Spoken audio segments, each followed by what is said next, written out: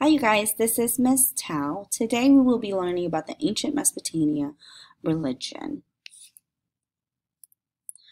When we take a look at religion, we talked about it a couple weeks ago.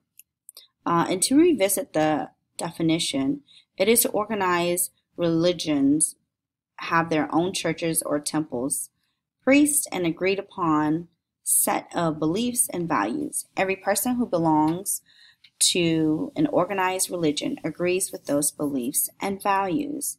So when we take a look at this next video, I want you guys to pay attention to Mesopotamians' religion, their temples, their beliefs, and values. What you learn on Wednesday about Mesopotamia's government will also help you in this lesson. So we will watch a video about the religion in Mesopotamia. That reminds me, I should write something about our religion. It plays a big part in our lives.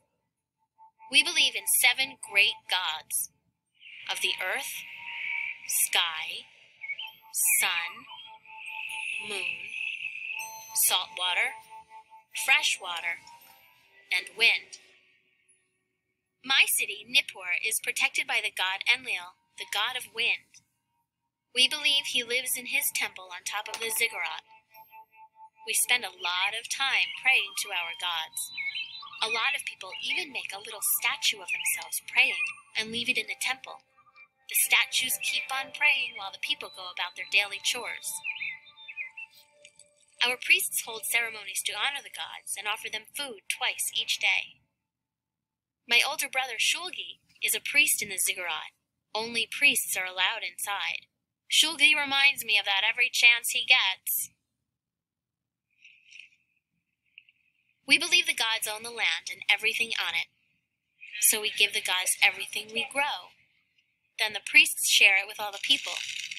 They make sure everyone gets enough.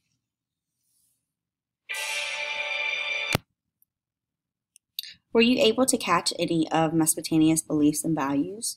Some of the gods that they believed in? And what was the ziggurat?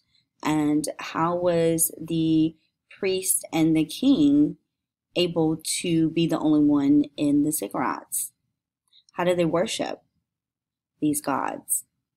So I have a class discussion of what were Mesopotamians' beliefs and values.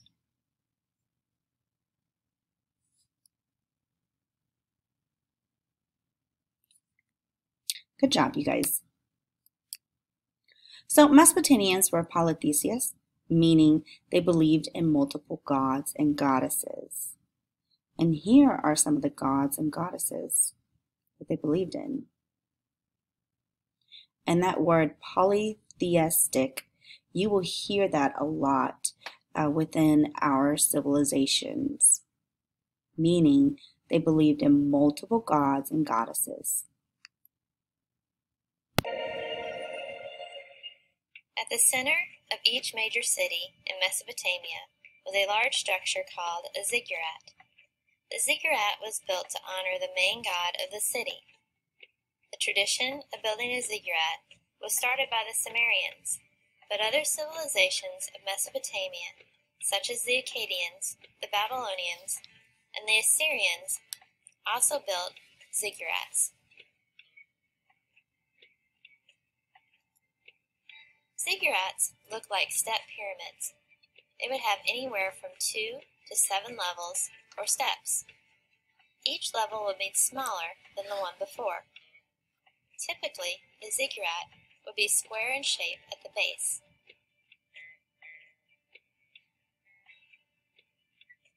Some ziggurats are believed to have been huge. Perhaps the largest ziggurat was the one at Babylon, Recorded dimensions show that it had been seven levels and reached a height of nearly 300 feet. It was also 300 feet by 300 feet square at its base.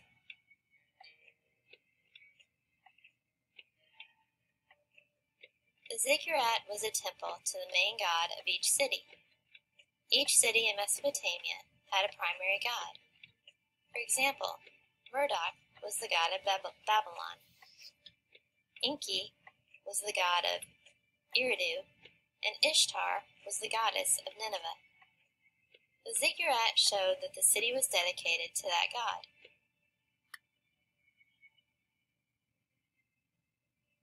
At the top of the ziggurat was a shrine to the god. The priests would perform sacrifices and other rituals here. They built them high because they wanted the shrine to be as close to the heavens as possible.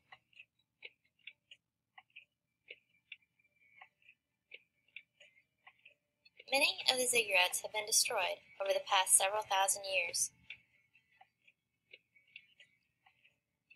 The famous huge ziggurat of Babylon was said to have been in ruins by the time Alexander the Great conquered the city in 330 BC.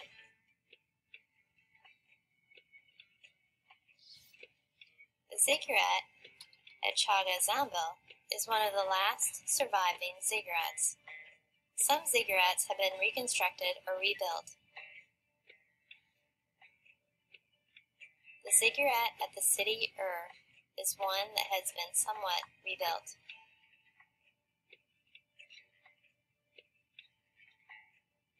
The ziggurat at Babylon was named Etemenanki.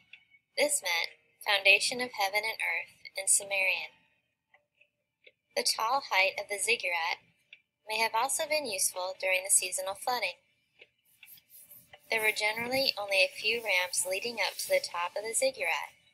This made the top easy to guard and helped keep the priests' rituals private if they wanted.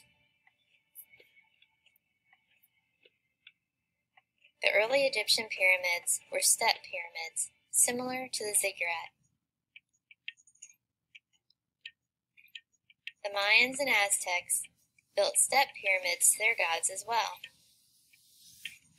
This was thousands of years later and on a completely different continent.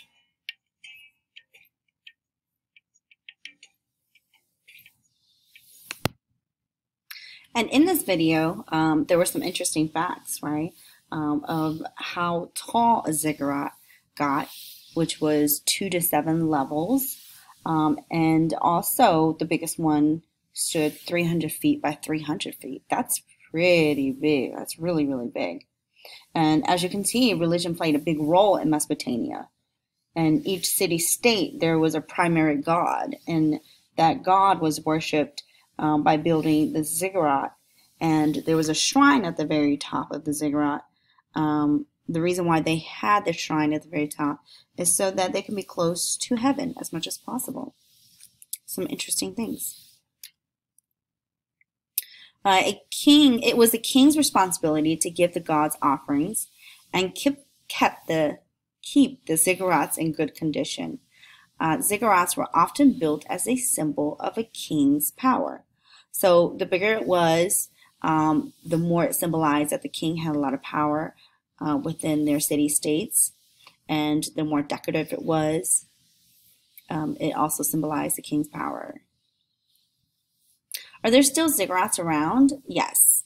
So today there's about 25 ziggurat remaining, um, found in the area from southern Babylon, Babylonia, which Babylon is here, um, and it's stated from the southern area here all the way to Assyria. Okay, so you can actually find ziggurats all the way around here, is really cool.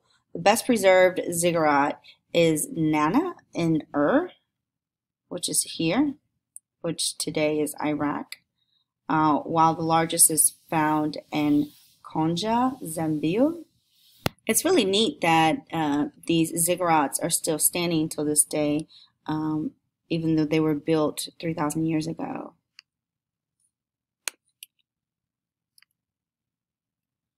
So here is a um, sky view of the pyramid in Konja. And as you can see, there are walls, brick walls around it. And you can still see some of these square spots here, which can indicate um, of other small houses that used to be there. It's really neat, right? You see some of the bricks are still there and here. You could almost make out that the ziggurat was the wall to protect it was actually around here, which is really cool.